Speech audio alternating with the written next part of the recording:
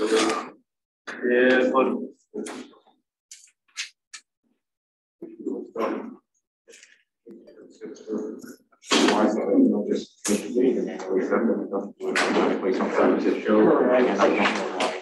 Correct. Because that would be convenient to help you in your, your travels. Yeah. Also, like this was working without. And it's not now. It never works for me outside the room. It only ever works for me in the room. That's why it's a good. So That should be. It's like- enough. I feel like I still don't tolerate it very well. Yeah, I can.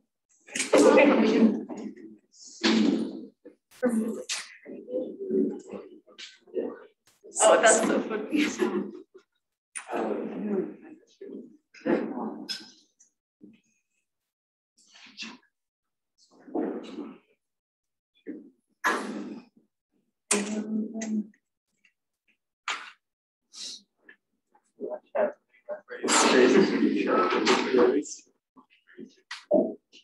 Oh, yeah, right.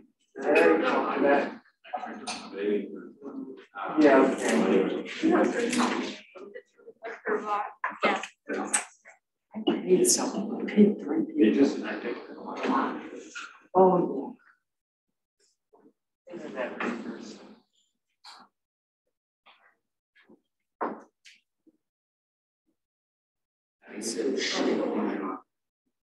Well, You get good one.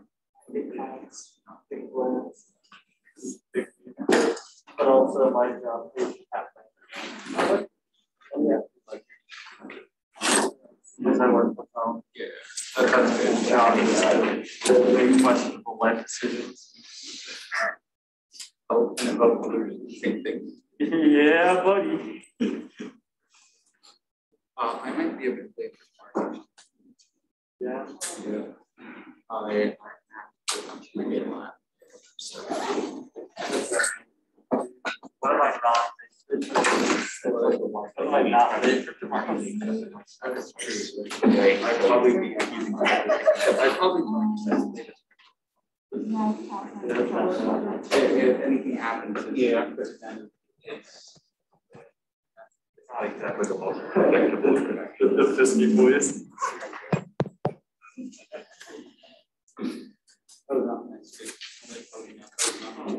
I was not expecting to crit.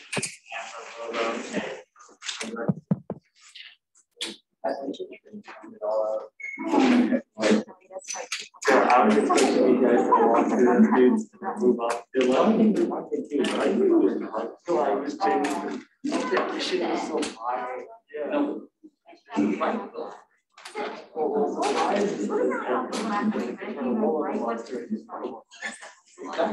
But what happened was. Yeah, they have acceptance. Oh, I guess. One. I, I'm, I just like. Yeah, what happened is, the and I could read story comments.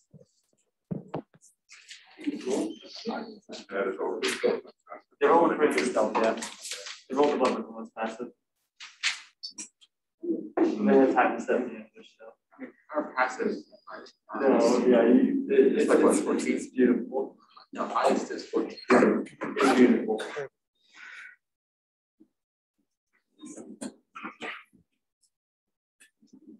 Okay, think about this.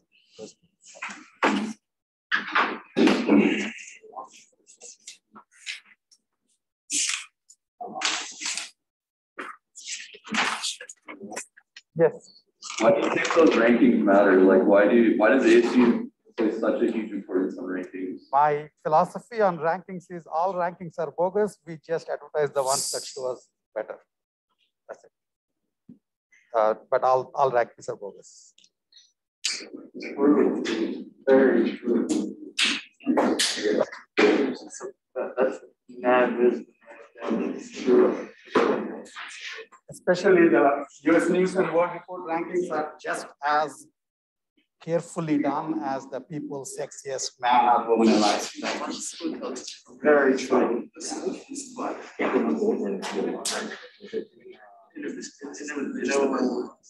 Yeah.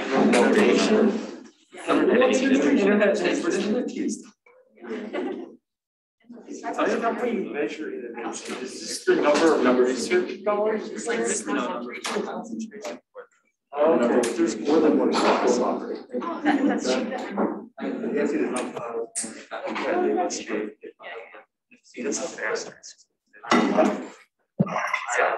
Maybe it's like um, out of twenty. Have you calculated Out of twenty statistic? I need an AI to have the ability to come in, it's obviously normal men are not able to talk about this.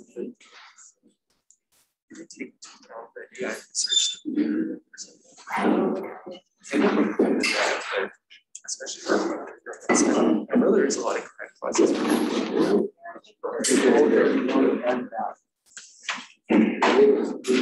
And from the curriculum. It's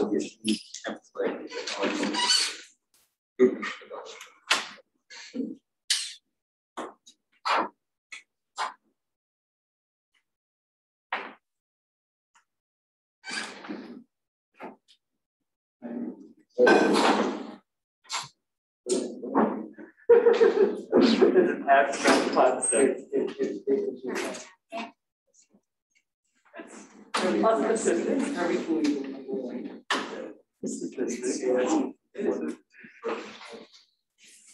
Short is. Not.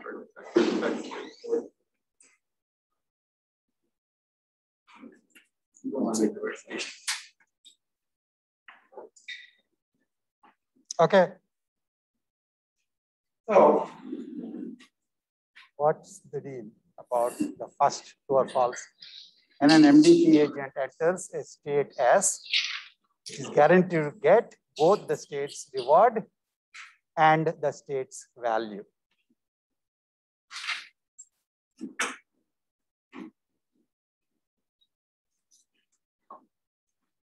We talked about reward and value, right? Um, yeah.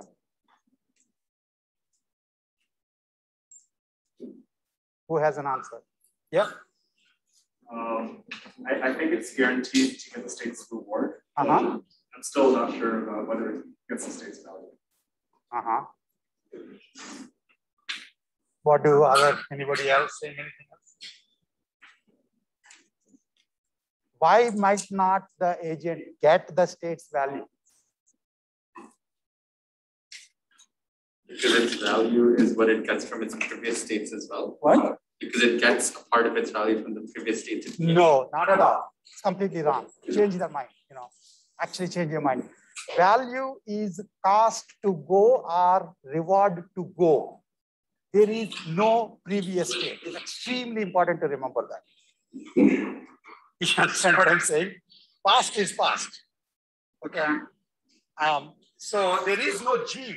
You don't actually need G to talk about policies. Okay. So it's a very important thing. Again, as I said, there are like a million ways of misunderstanding anything. And so I try some of the ones that people normally fall for and then you know look for it. But certainly it has nothing to do with the value from the previous stage. Value is about a cumulative reward you might get from here on. RJ cost to go is the cumulative cost you are likely to incur from here on. Yes. So then would it be fair to say that they're guaranteed both because the reward is what they get when they get to the state? Mhm. But then the value is, is what's incurred from here on. Yeah, but the yes, but uh, So wait. So let's actually okay. Let's put it this way. Uh, maybe uh, get the state's reward and the state's. Let's say I'll see if I say optimal value.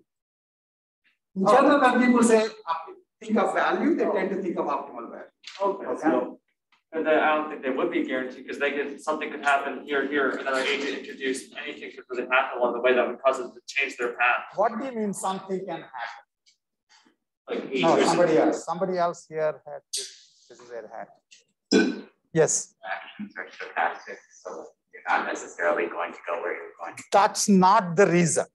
Again, these are all good things because that tells me that there's still some knobs to be adjusted in your brain's understanding of this stuff.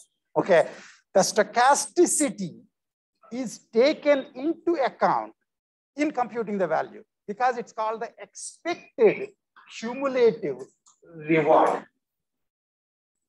expected, not guaranteed.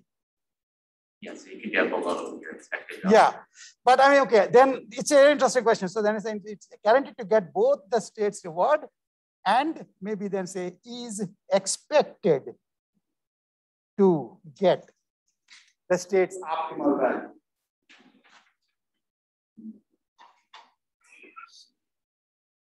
Is expected to get the state's optimal value. Do you at least expect it in, you know, do you? Okay. Why did people get into college? Why, why take, why enroll in, why get to college? Yes, It's for like the ability to take a job, a better job in the future. you'll get a better job. So when you come into the college, there is a reward for being in the college, such as the Saturday, Friday night rivalries. And then the expected value, the, the, the optimal value is maybe whatever your favorite job is, your Google job or your grad school or whatever. Is it possible for people who join the college not to get, even in expectation, the optimal value? Yeah, if they just sit and not show up for classes and go to every possible Friday night party, right? Do you guys understand that?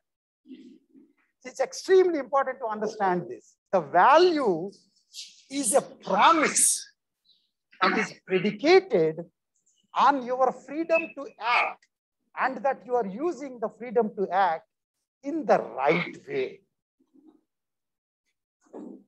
So an optimal policy would have been computed.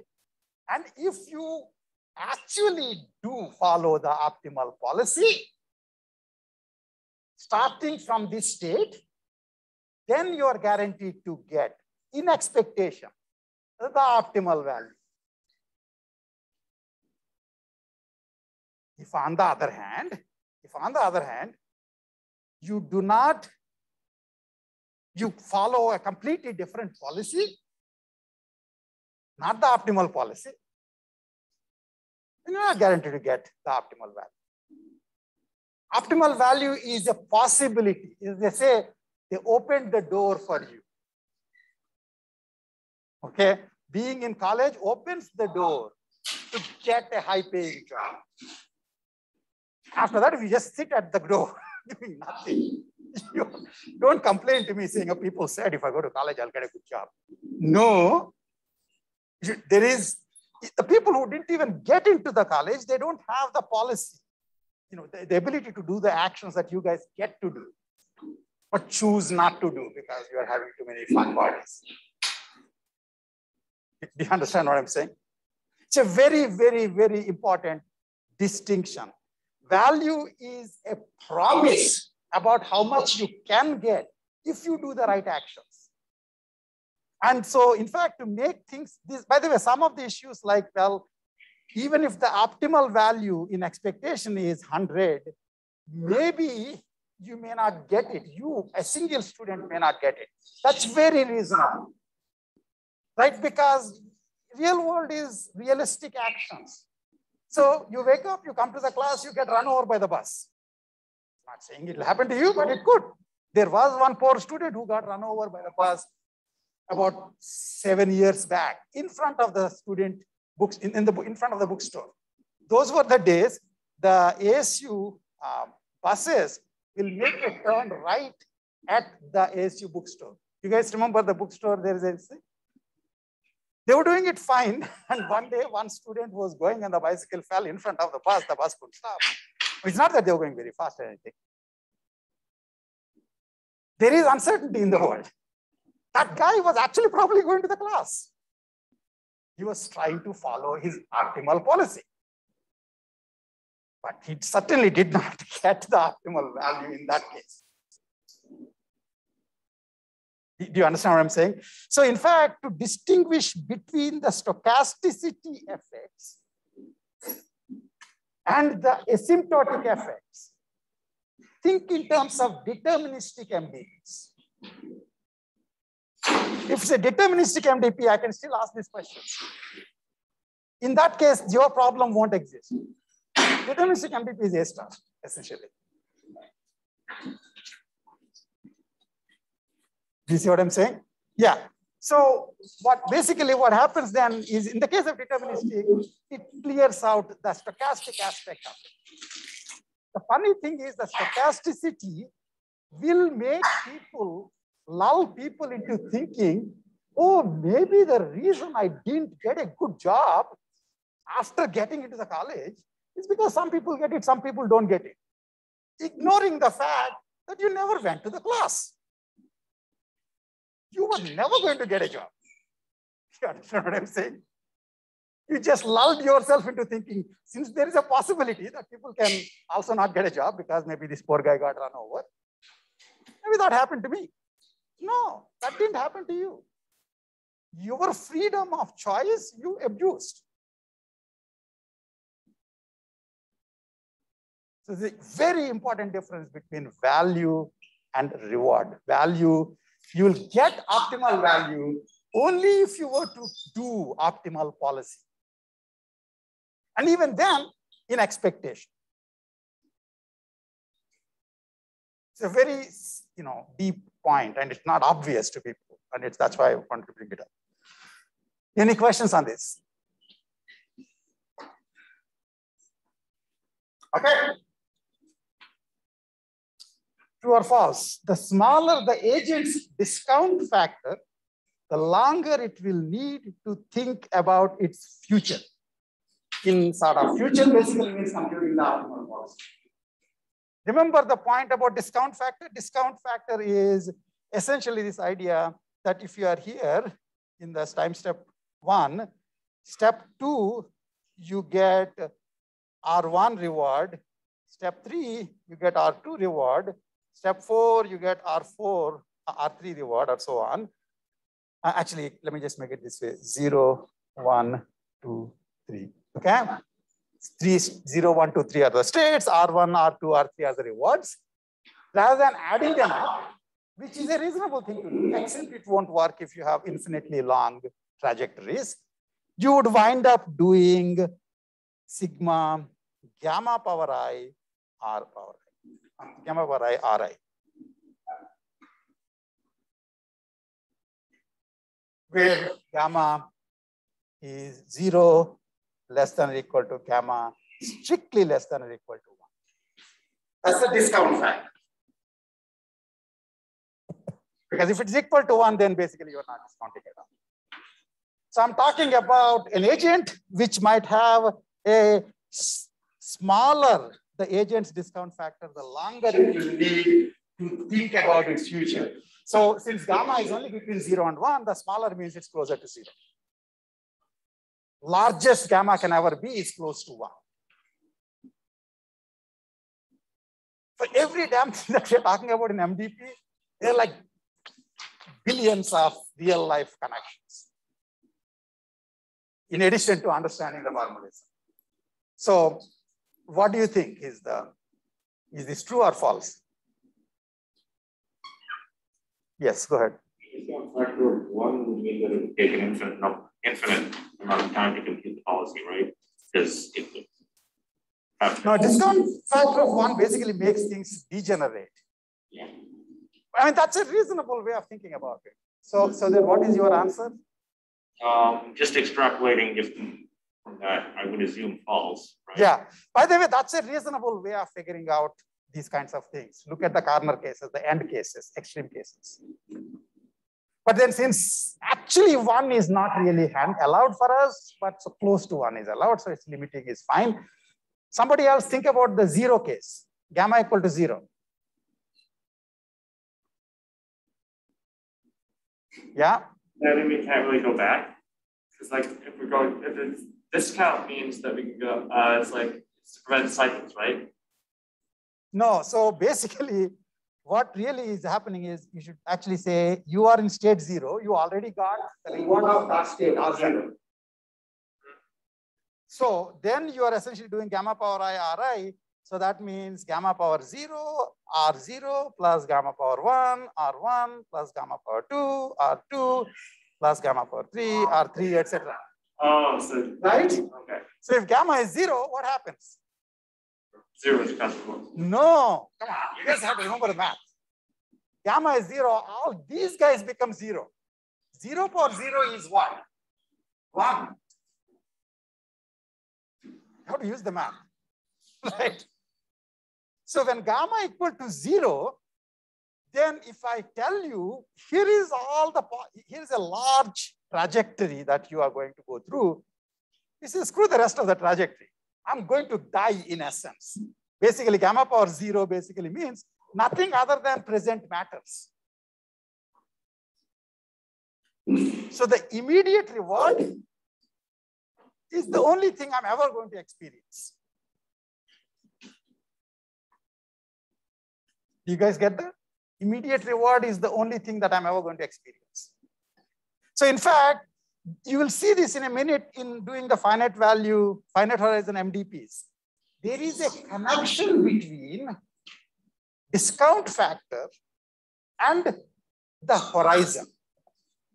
Remember those of you who have seen the, the, the example of doing finite horizon Markov process, you saw if you are at zero steps to go, that means you have no more steps to live, then your value is your reward. That's like a very important point. That's basically like saying my discount factor is zero. So in fact, discount factor has a, you know, can be interpreted as the probability that your life will end.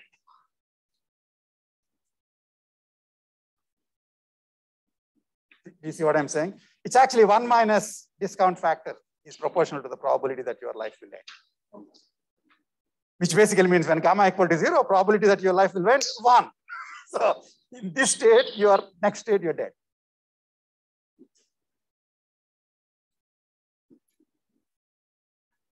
Okay. So it's very interesting point that gamma is proportional to one minus gamma is probability is proportional to the probability that MDP ends. That means your, your horizon ends.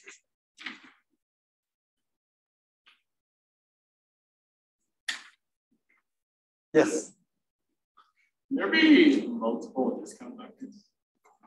Normally, the models, it's a, it's a very good point, but mostly people use the model where they just assume. In the beginning, they assume single discount factor. But you can obviously start with high discount factors and reduce the discount factor later on, or you can have a schedule of using discount factors. Those are all possible. But most of the analysis is typically done assuming, most of the elementary analysis of MDPs is typically done assuming that there is a single discount factor per agent, which is a reasonable assumption. So here's another interesting thing. Is there a connection between gamma and optimism versus pessimism of the agent? Somebody from this other part of the room, which they I'm really hope, I think they're hoping that I don't see them, which I cannot because it's so far away. But once in a while, you should speak up if you're wasting time showing up for the classes. Is there a connection between gamma and optimism and pessimism? Again, there is a self-sorting in classes. People who don't know and don't care tend to go farther and farther away. And so I would actually suggest that people who are sitting by habit as far away from this place as possible, consider changing that policy. Yes, go ahead. I guess. I mean, if one minus gamma is related to uh, the uh, probability that MDP ends, then wouldn't larger gammas mean more pessimism? Or is that bad? No. Um, the smaller gammas means more pessimism. Larger gammas means more optimism. And the real reason when gamma is closer to one, the reason policy becomes hard is here is a very interesting thing. Your optimal policy becomes hard when you think the world will be around for quite a long time. what I'm saying? If I were to tell you this evening, the end of the world is occurring, all of a sudden, there is no project deadline. You don't need to worry about projects. You don't need to worry about grades. Everybody's gone. you see what I'm saying? What is the optimal policy? Leave the class, have fun until the end of the day. Very easy to compute. Your life is actually hard because you live longer. Strange as it might seem. You see what I'm saying? Again, it's only hard because you're trying to do the optimal thing in your life. To the extent you're trying to do the optimal thing in the life, if you think you will live long and the place around you is not going to get bombed out of smithereens, then you need to basically, it's all in your hands about doing the right things. Whereas if there's going to be a bombing of MP and by the end of the day, the MP will be gone, hey, it's fun stuff. I know I can't do anything about it, but at least my God, my brain won't be heated up trying to compute the optimal policy. Because everybody's optimal policy is just enjoy the current state. Okay.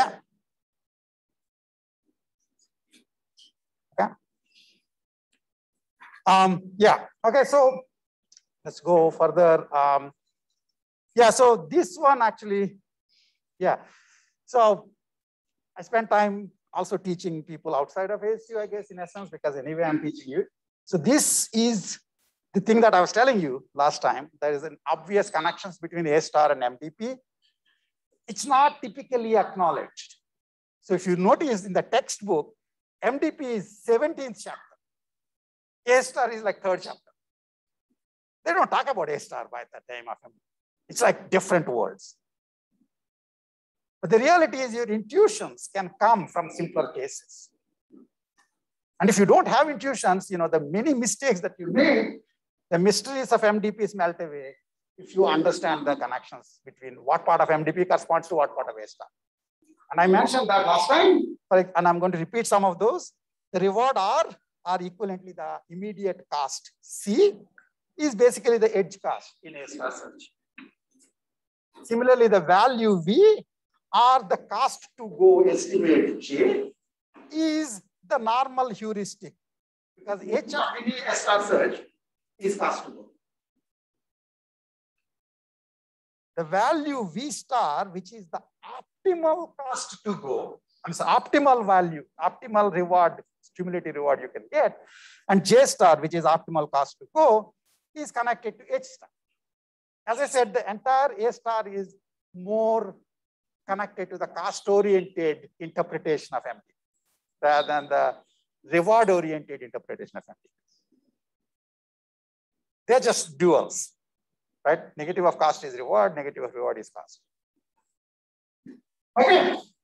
then when you're talking about a policy in MDP, you're talking about a path in A. You're talking about an optimal policy in MDP, you're talking about an optimal path in A Okay. Similarly, if I give you a policy, one of the big things that people get confused when they start looking at in, in, in MDP is I will give you the policy and I ask you to compute the value corresponding to that. That means if the agent specifically follows a particular policy, that means when I'm in state S1, I'll do action A1. State S2, I'll do action A2. Station A3, I'll do action A3. That's it. And let's say are only three states. Okay, if I'm following this policy, then what is the expected value of S1, S2, S3 with respect to this policy? We'll talk about that in a minute. Okay, but really that's connected to, I'm sorry, that, that's connected to the cost to go of a path. Suppose in A star search, here is S, A, B, C, G. Okay. Suppose I tell you this is the path I'm using.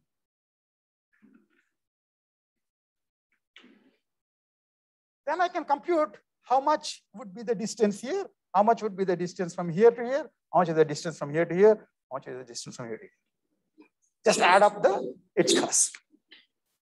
So you convert it policy into value. Policy being path into value being cost to go. Equivalently, if I were to give you a cost to go for each of the nodes, then you can convert it into a policy. So in A star, imagine in A star search, there is a tree, and for every node, I have given you like an H value for those nodes. Right? If I give you H value and you assume the H value is as good as it gets, that means I don't have any better estimate. Then at every node, I can do greedy policy. Basically, from every node, I consider the nodes that I can reach. And for through each of them, I know the G plus H value. You see what I'm saying? And I figure out whichever is the smallest. And that's how the path starts. So you can convert H into a path. In fact, you convert H star into a path in A star all the time. Okay? And then similarly, so the value of policy is the cost to go of a path, and optimal policy can be taken, you know, can be connected to optimal value. This is like a big thing we'll make a huge deal about in MDP. Optimal value and policy are duals of each other. Not duals. I mean, given the optimal value, you can compute the optimal policy. Given the optimal policy, you can compute the optimal value. Which is why, even though what you really want to compute in MDP is the policy, that is what should the agent do. Right? But we compute value instead. Most of the time you talk about value iteration because if you get the value, you can convert it into policy. The same thing you did in A star. What you really wanted was the path. But in a weird way, if you were to compute the H star value for all the nodes, then the path will just come out free. And again, remember, for A star, computing H star is an overkill because of determinism. In fact, if you do H star, then essentially A star will be able to solve the problem in such a way that if you find yourself in any node, you know the optimal path. And in fact, if you have this pesky kid who after you get to a node, they can just transpose you to a different node.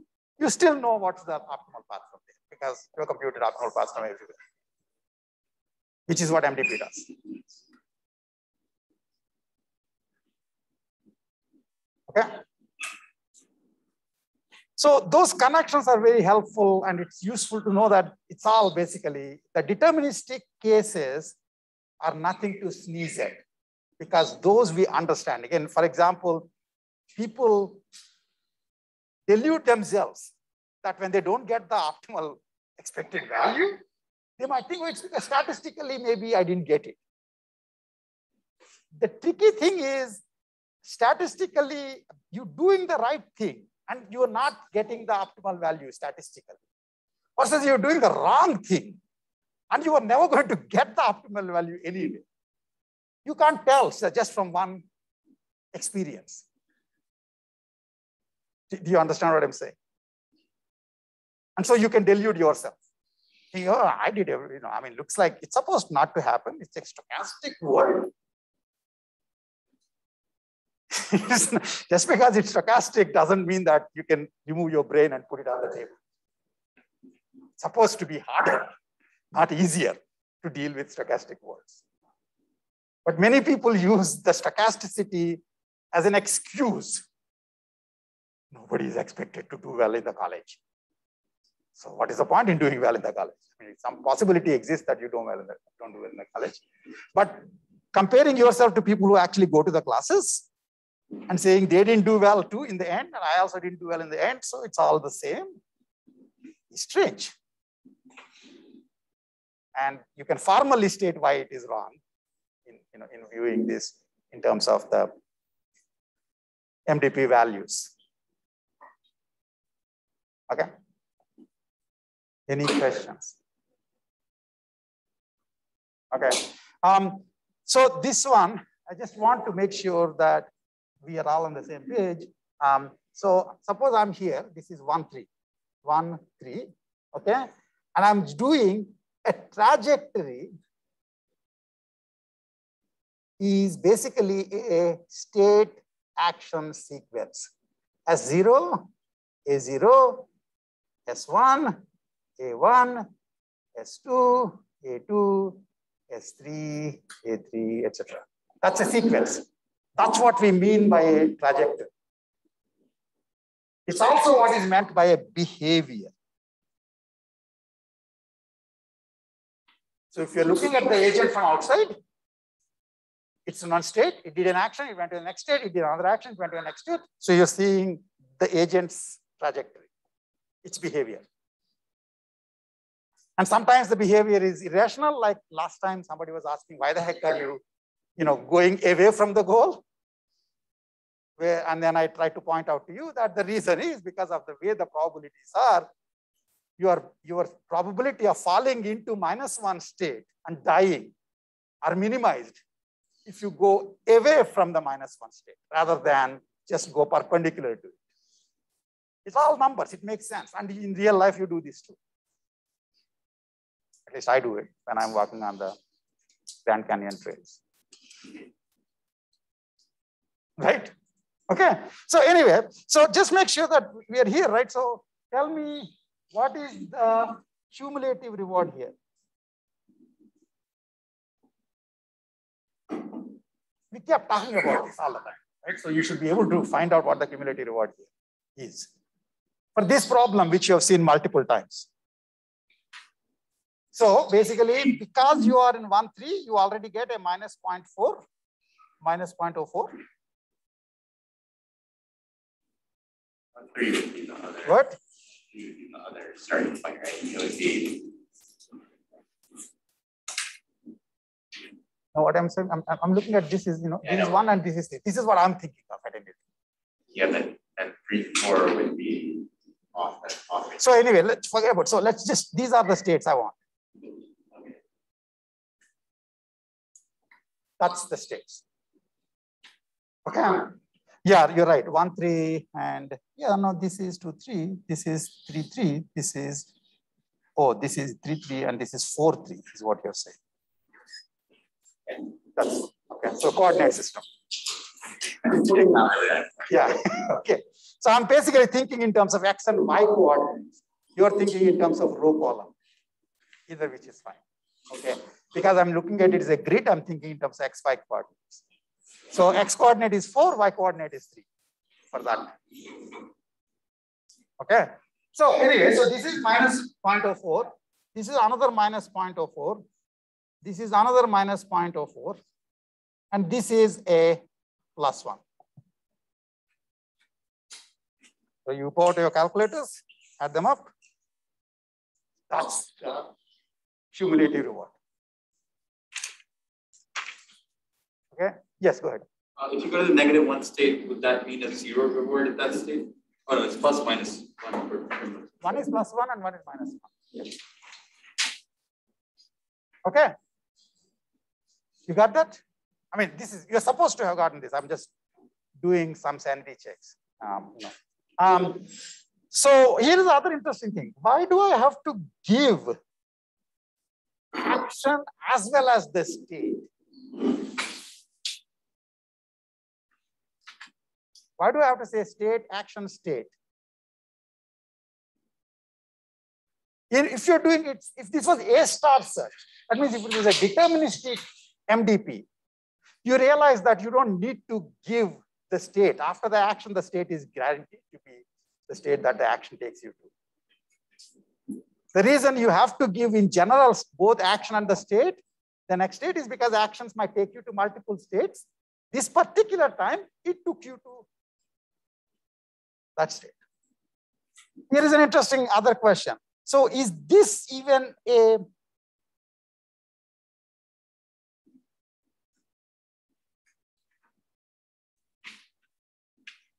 is that even a trajectory that this MDP agent will ever be able to execute?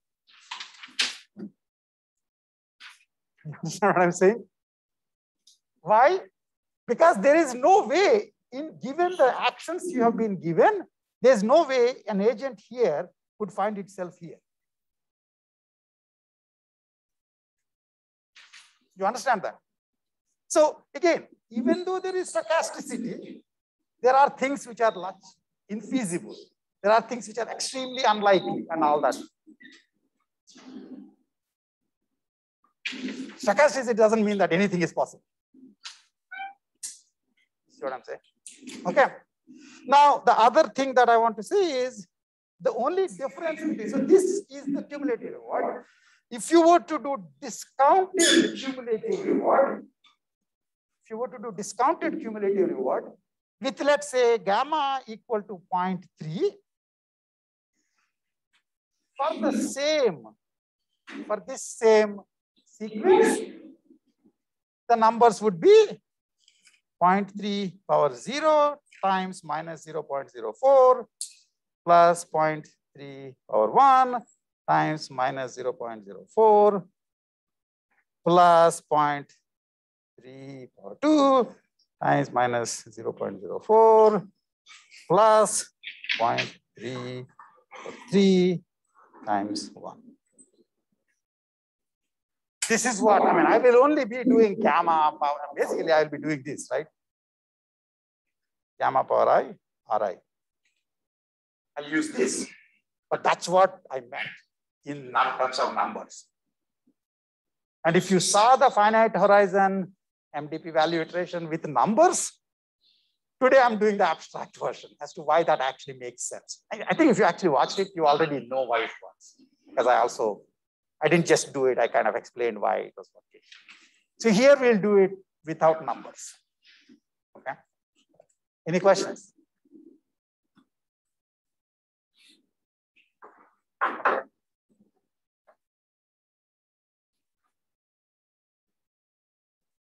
So there could be behaviors given a, an action model. An action model basically means, you know, if you do this action in this state, what states can it reach? Given an action model, then in essence, there are certain states that certain sequences that are more versus less likely, the behavior sequences.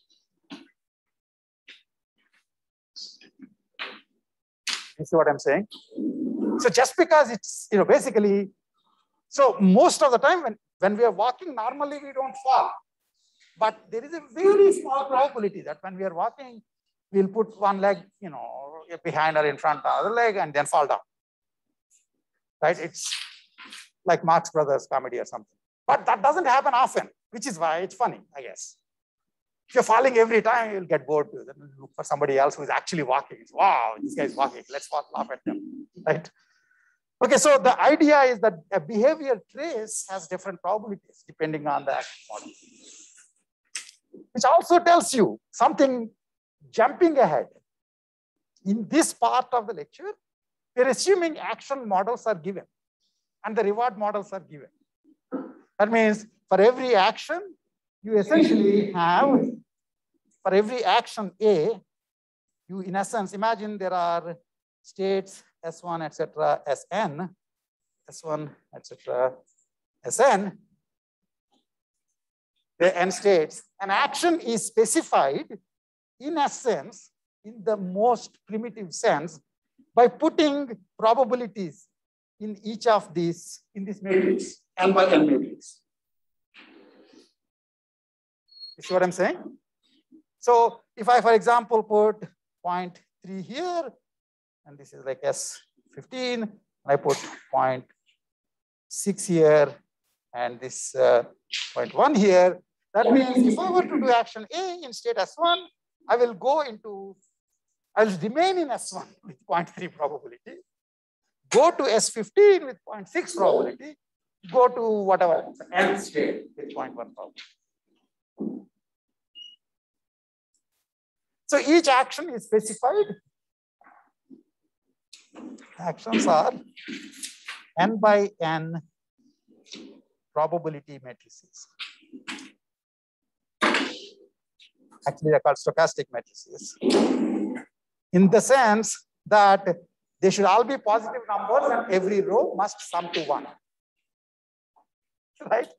Because the action should basically all the possibilities should sum, all the probabilities should sum, to one.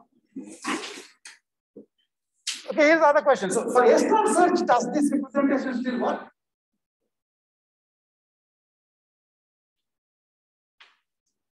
That means if the action is deterministic, does this representation still make sense? Exactly. It will still make sense. It's just that every row will be all zeros except one one. That means each row exactly has one one. See, there's all this abstract stuff about deterministic, stochastic, but that's basically what it is in terms of, these are what is called the transition matrices. Transition matrix. So when I told you that I gave you the model, transition model,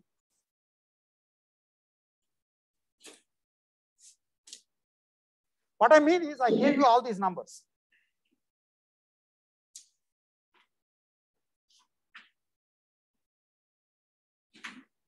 Right? If on the other hand, if I didn't give you these numbers, and you get to see the agent perform, so you know that the agent is in S1 and it did action A1. And it stayed in S1. And you do it again, the same thing, state, state, you know, put the agent back into state S1 again, make it do action A1 again, see where it goes. Keep making it do multiple times. The action A in state S1. Then you get counts. It went into, of the 100 times I did this action, of the 100 times I did this action, 10 times it went into S1.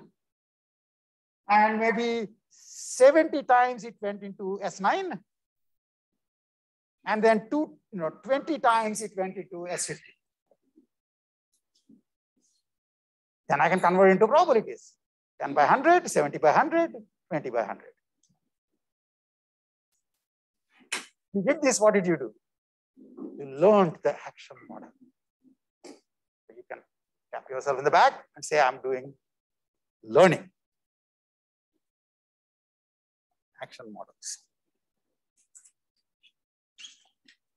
And in fact, this is what model-based RL does, reinforcement learning does. See what I'm saying? Like a dumb to some extent. But what else will you do if you didn't have people telling you how the world works? You will try various things and see which are looking, feeling good, which are not feeling good. And so that way, so by the way, so the other thing that in, the saying which are looking good, which are not looking good, I also mentioned that remember the reward metric wasn't given before either. So basically, if you know if you don't have action model, this is what you'll do to compute the action probabilities. If you don't know the reward model, what do you do? Well, when you get into that state, you will feel the reward. Reward is one of these things that just washes over. See what I'm saying? That's why it's immediate reward. You just, it washes over you. So this is how kids figure out. Right? Oh, this looks good. This looks bad. So kids will try any random thing unless you put them in cages. They will go put their hand in the hot stove. It's nice and red. Hey, I want to put everything in my mouth. This red thing I'll try to put in my mouth, put them on thing. Then their pain sensors will send a nice signal to the brain. Brain says, oh, are you stupid? Don't do this again. Many kids will stop doing it. Some kids don't stop doing it. They either may not exist or become masochists as they grow old.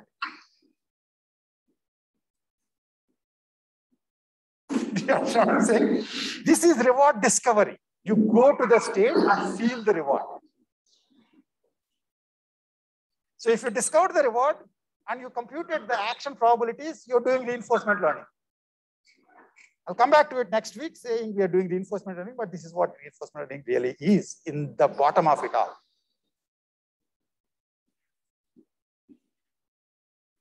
Okay? Any questions? Yes. Uh, so the way, so when we did Monte Carlo search, Hmm. uh, we, we found probabilities of certain things happening. But in this case, when you're finding a probability for an action in a state, it's also possible that some other state exists which may be better. So do you have to compensate the same way that we did in Monte Carlo? That's okay.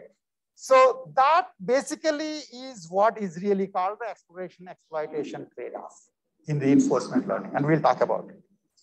In general, if you're just seen, let's say some number of traces of, you know, basically you hung around the world, the normal way of thinking about reinforcement learning is the agent just goes around doing things in the world and tries to learn about the world. If we were supposed to do everything like that, we'll all be dead long back. In fact, you'll be dead in like the first year. Your parents made sure that the things that you would do are not going to end your life if they're good parents. The bad parents, they leave like uncocked guns and you know open flames, etc., and say if they're smart kid, they will survive. See what I'm saying?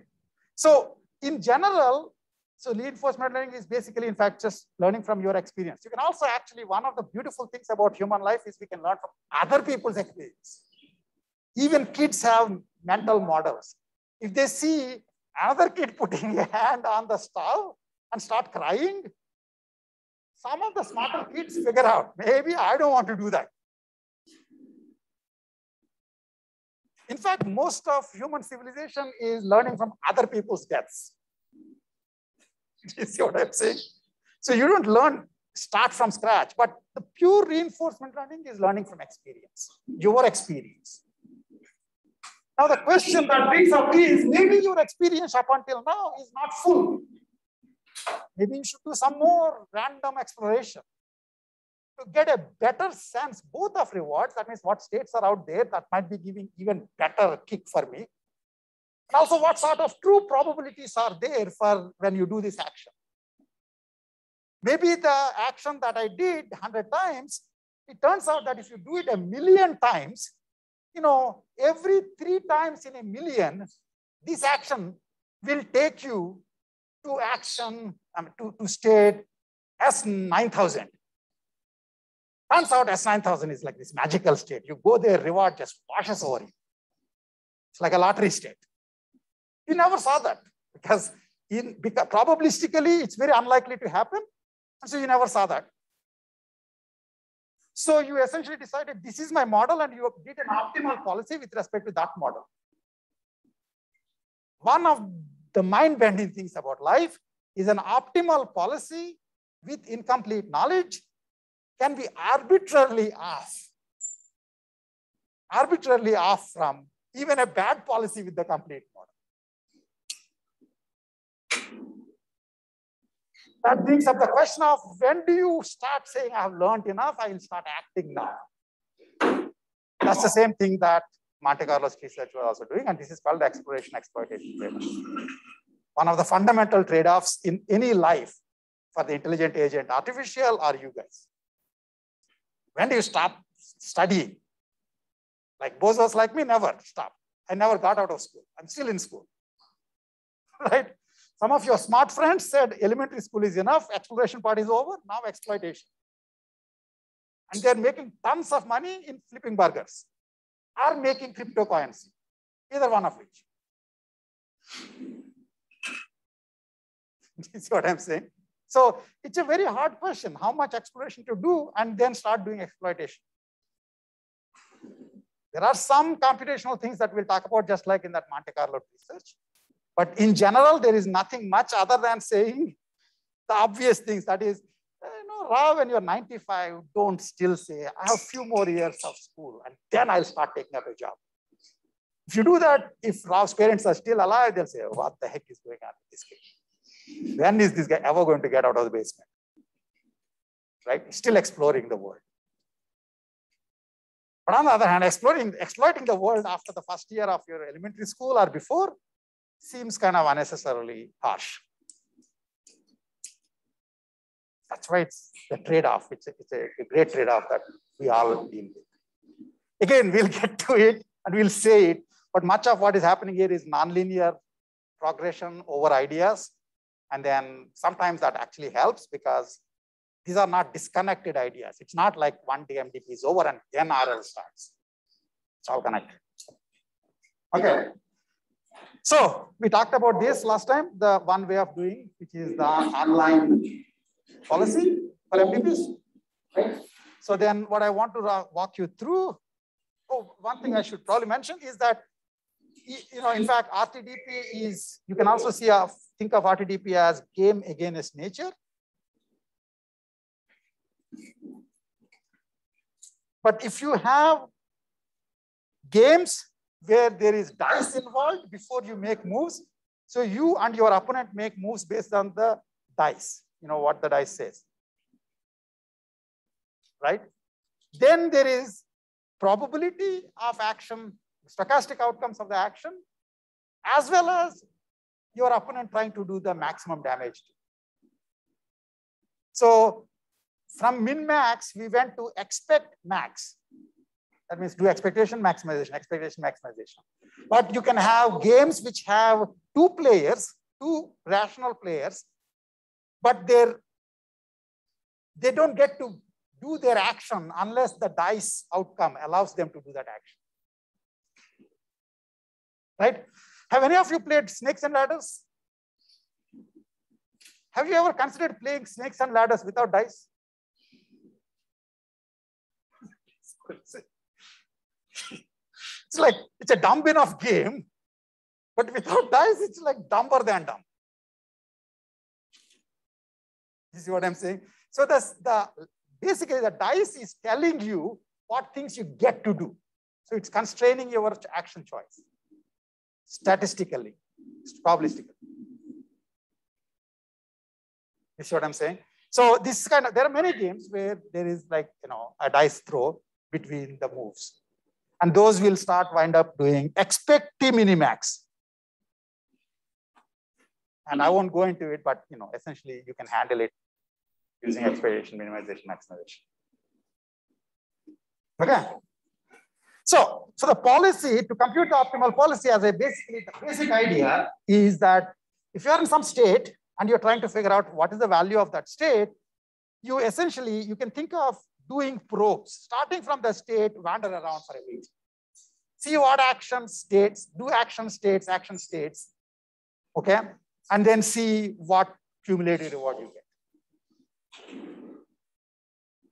And if it's like the total, on the average, the cumulative reward that you're getting is high, then it's a good state. So this thing can be separated into two parts. One where you know the policy, That means you decided that my policy is in state S1, I will do action A1, state S2, action A2, state S3, action A3.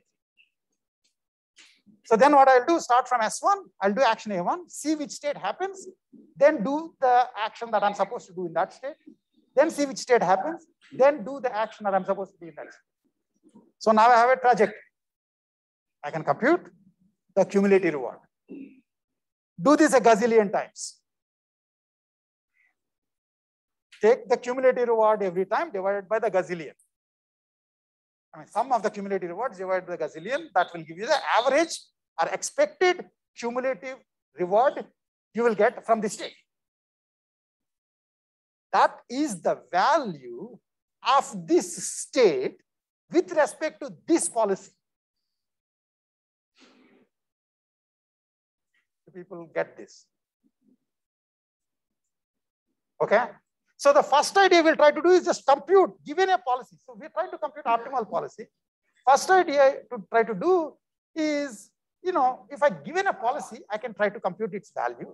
And then basically maybe I'll guess more policies and then compute, compare their values and pick the one which has the best expected value, best expected cumulative value. So, so that's basically what we, would, we could do. And so to be able to do that, you need to talk about the value of a policy. Value of a policy is like cost to go of a path. If I tell you the path in the A star search, then you can compute what for each of the nodes in that path, starting from the bottom where the goal is, what is the cost to go to the node goal in that path? Well, I already gave you the path. You don't have to do it zillion times because it's a deterministic case. Because MDPs can have stochastic actions, you have to do it a zillion times and see expectation. The question is, can you do this fast? And it turns out that what we were saying is basically that computing the finite horizon value of a policy. So we'll first look at the finite horizon case. That means one of the things I didn't explain is how long is this trajectory? When do I stop? In the case of finite horizon, you know exactly if I am in the k, k states to go, in k epochs to go, then each of my trajectories is going to be exactly k or smaller. If in fact I go through a terminating state, in which case I can't live after.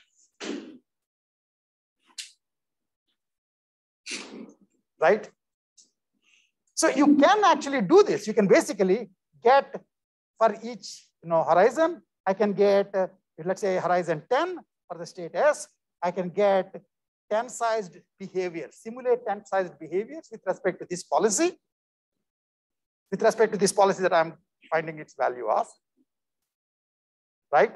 And then compute the cumulative value each time, cumulative reward each time, divided by the number of times you simulated. That would be the average expected, uh, the expected value of this state with respect to this policy. Do it for each of the states. You could do this. And up until now, there is no conceptual difference. This is where you become a computer scientist. And you'll say the numbers that I'm doing, the, the computations I'm doing, are likely to have humongous overlaps because the states are connected to the same states. It's not like the world is changing every time. So there should be a simpler way of computing this value. And the basic idea is basically you have these recurrence relations for value zero steps to go of a policy pi in state S. This is actually the, what's called the base case of the recurrence relation. Which basically says if you have zero steps to go, then the value of the state is its immediate reward because you have no more places to go.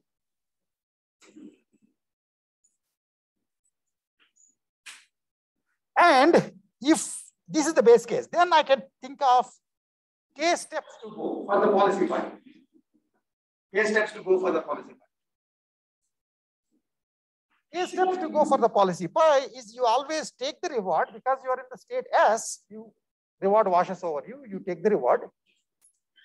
Plus this part, which looks very surprisingly kind of complex, but what it's saying is now that you are in this state, if you do whatever the policy is saying you should do in this state, pi sk is telling you that in state S, with k steps to go, thou shalt do action 15.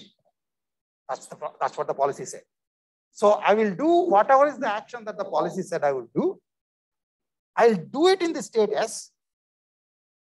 Then if I look at the action matrix, state, state, probability matrix, then I know what is the probability if I do this action, let's say A15, in state S, what's the probability that I'll get to S dash?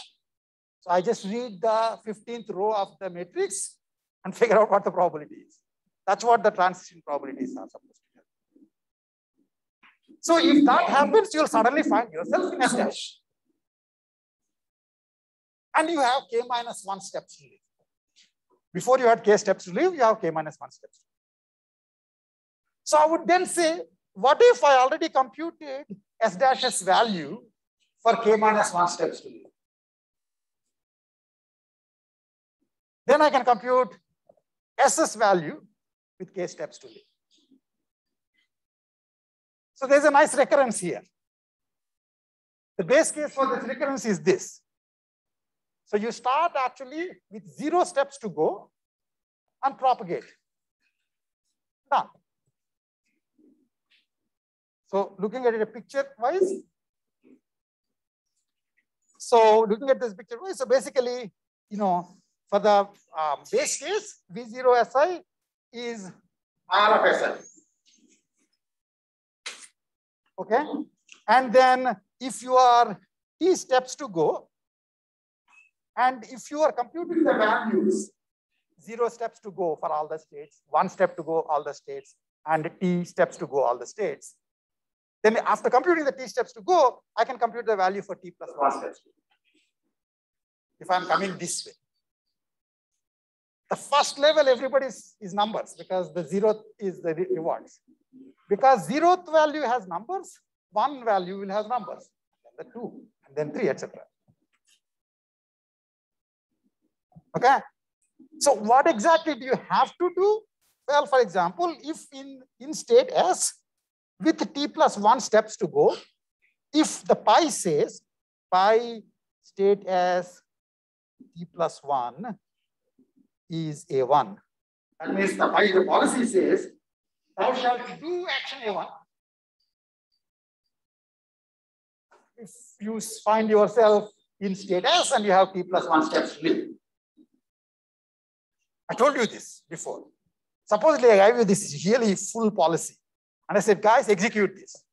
You don't want to believe me. So Rao could be wrong. Let's just figure out what's the upside for this.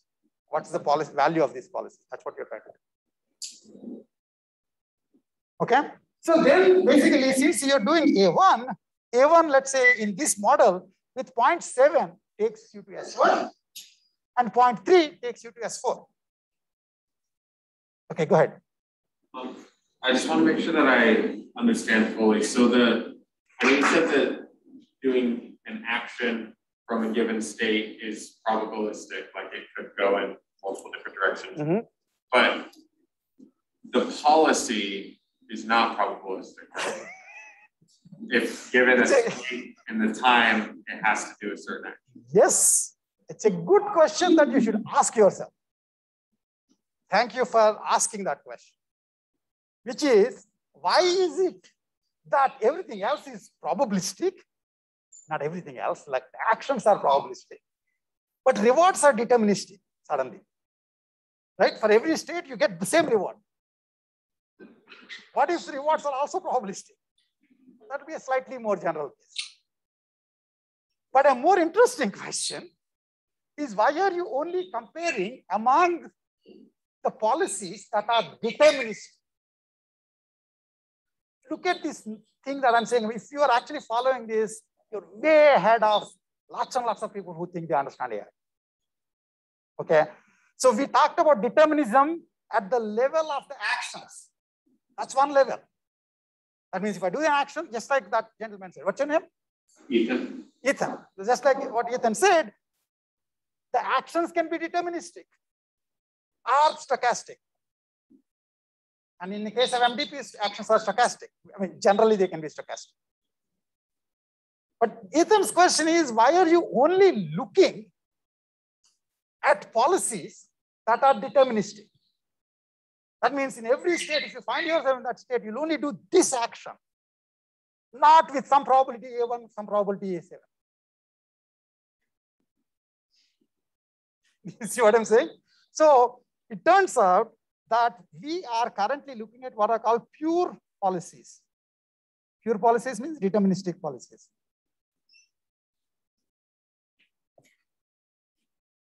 The thing that he's asking about are what are called mixed policies. Mixed policies. That means given a state, you stochastically pick the action you will do in that state, where the probability is determined by the policy. You get this? So Ethan's big worry, which is a very good worry to have if you are thinking deeply, is what if I found the optimal pure policy by whatever thing that I'm doing, you know, in today. And it turns out that that's much worse than the optimal mixed policy. you understand what I'm saying? Because mixed policy set is a superset of pure policy set. You would agree with that. There's deep theory that shows that if there is a, for normal MDPs, the ones that we're looking at, if there is an optimal mixed policy, there is also a pure policy which gives the same value.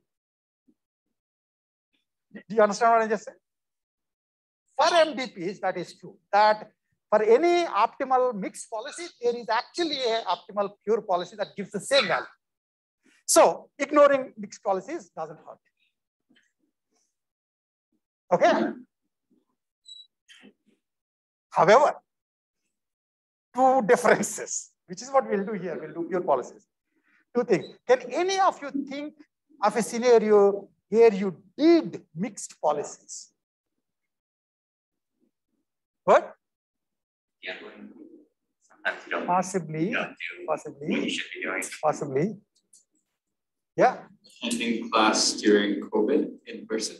that's, yeah, I mean, that's true. But I mean, but the question is, so what I'm interested in seeing is scenarios where the optimal mixed policy, optimal pure policy is way worse than optimal mixed policy.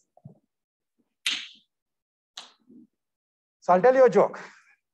And if you understand this joke, you understand why mixed policies are important. How many of you know Simpsons? Okay. So there is this thing I'll be able to send you once I go home that, so Lisa and Bart are trying to, you guys should remember who is what in Simpsons. Lisa is a smart one.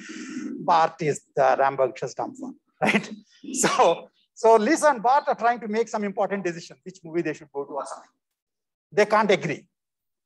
So Lisa says, let's play rock, paper, and scissors. And then next cartoon panel, there are two bubbles on both of their heads. Both of them are happy. Bart says, yay, we are playing rock, paper, and scissors. And Lisa says, yay, we are playing rock, paper, and scissors. And Bart always picks rock. You guys understand what I just said? If you understood this, how many of you know rock, paper, scissors, the game? The whole point of rock, paper, scissors is if you have a pure policy, then you're screwed. It's the same thing in tennis serving. If you're serving exactly the same way, your opponent will figure that out and you will be out of the game very fast. So in games, if you only search in the space of pure policies and say, this is the optimal pure policy, you could be arbitrarily away from the optimal policy. For MDPs, that's not true. MDP is a single agent. Again, is the reason is Lisa is not nature. Force of nature, but she is not nature. Right? And that's where Bart got screwed. Nature wouldn't have cared that Bart is dumb. Lisa, on the other hand, as I said, you know, if you are, if you can play a game against nature versus humans, pick nature. Because humans can exploit your failures. And so in games, which are basically, you can have MDPs which capture multi-agent scenarios, you have to search in the space of mixed policies. And the other thing which will come later is there are ways in which you can directly search in the space of policies. So you're looking for a policy, just like this hill climbing thing I mentioned, you can search in the space of policies by hill climbing your way to increase the policy's value. In such cases, you should be, the one thing that we know that works well for this kind of gradient search, uh, hill climbing search is gradient ascent or gradient descent, which is basically what means that the underlying function has to be continuous. Do you get this point? Calculus is not defined for discrete functions. It's only defined for continuous functions.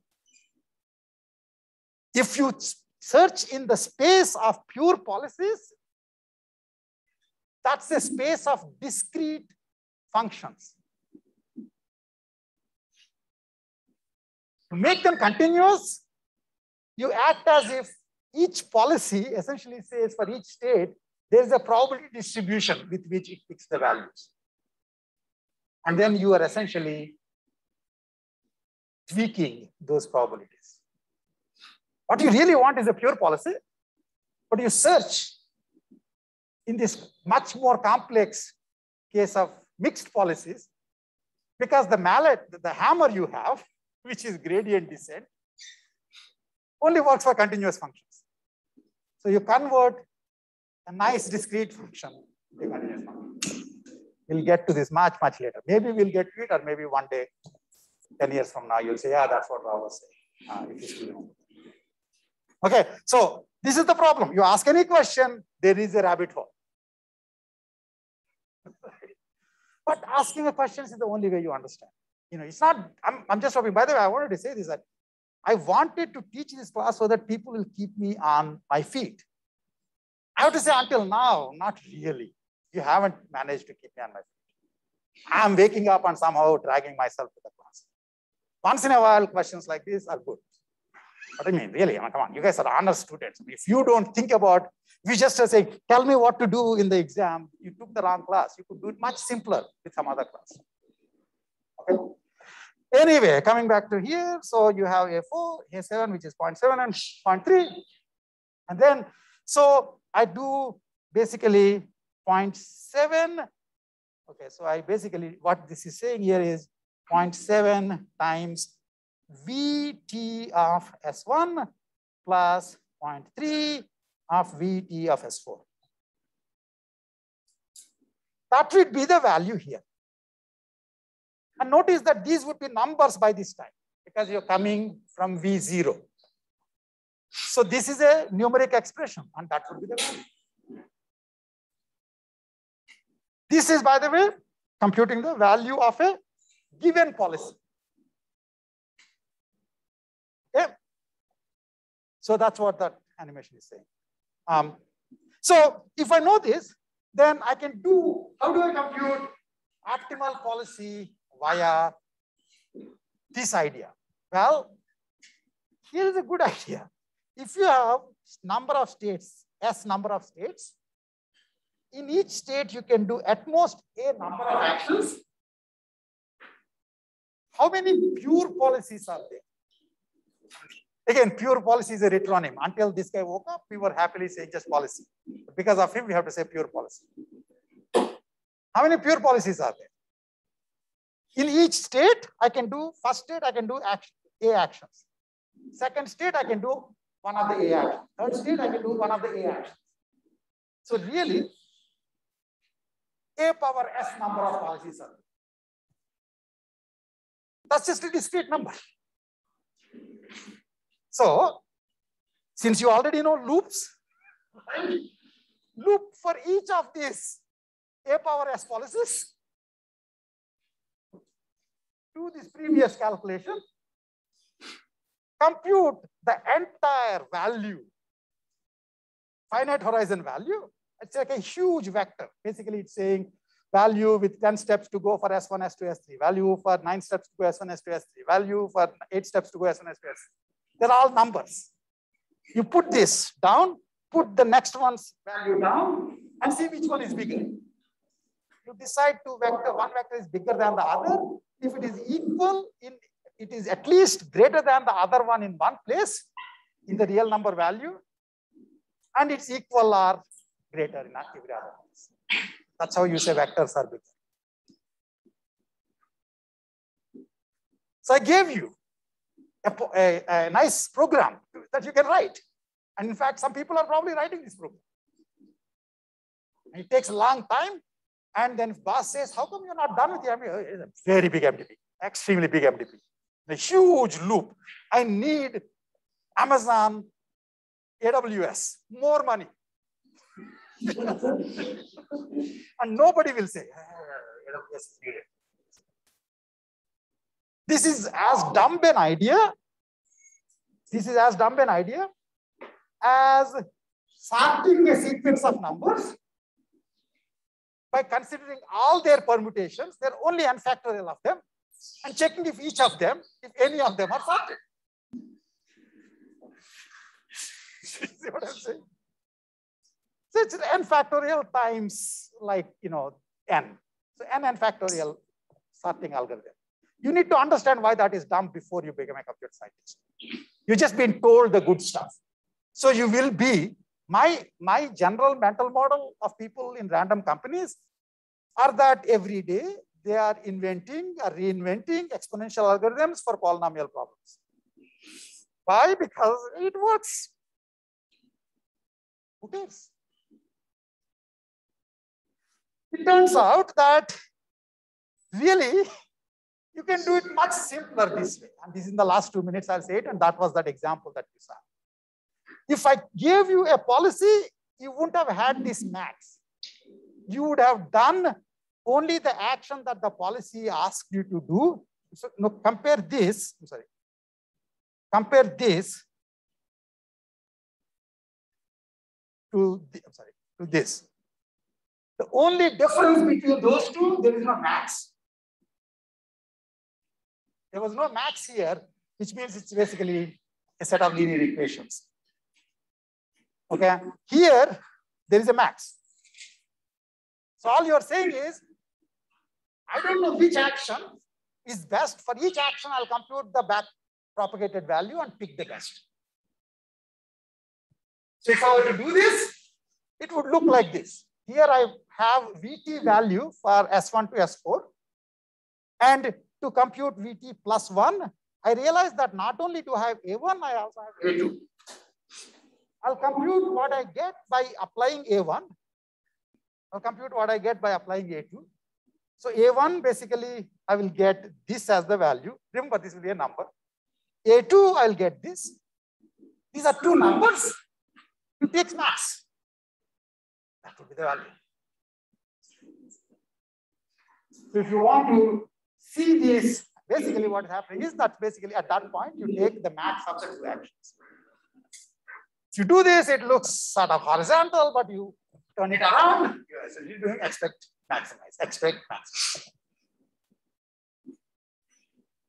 That's computing finite horizon optimal value function. And we'll come back and say that for infinite horizon, act as if it is just finite with a very large k. And keep doing this until between two iterations, the value function hasn't changed much. In which case it must have converged. But before that happens, you should have guaranteed that such a convergence is possible. It turns out that if you have infinite horizon MDPs and you have discounting, then you are guaranteed to converge. That's it. Okay, let's stop here.